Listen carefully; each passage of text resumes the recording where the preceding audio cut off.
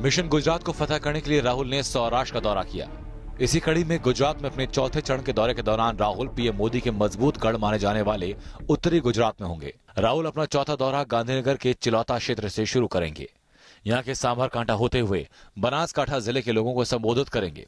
राहुल बनासकांठा में रात्रि विश्राम करेंगे और इसके बाद दूसरे दिन वहीं से अपनी यात्रा शुरू करेंगे। बनासकाठा ज़िले में माँ अंबाजी के प्रसिद्ध मंदिर में राहुल माथा भी टेकेंगे।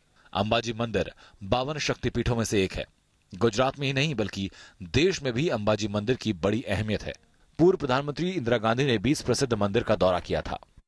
नॉर्थ गुजरात बीजेपी का मज़बूत गढ़ माना जाता है। पाटीदार आंदोलन का मुख्य केंद्र भी नॉर्थ गुजरात ही रहा। उत्तरी गुजरात में राहुल जिन रास्तों से गुजरेंगे, उन जिलों में ठाकुर और पाटीदार समुदाय की बड़ी आबादी है। ऐसे में राहुल के लिए दौरा महत्वपूर्ण है, जो राज्य में जीत और हार का फैसला कर सकता है।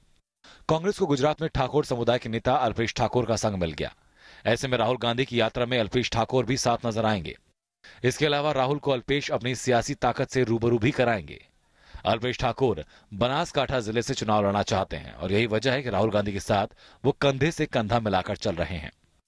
सौराष्ट्र के बाद नॉर्थ गुजरात पाटीदार समुदाय का बाहुल्य क्षेत्र माना जाता है।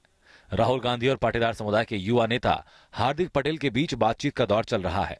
माना जा रहा है कि ऐसे में हार्दिक पटेल भी इस इलाके में अपनी राजनीतिक ताकत की नुमाइश राहुल गांधी के सामने करेंगे। Bureau report APN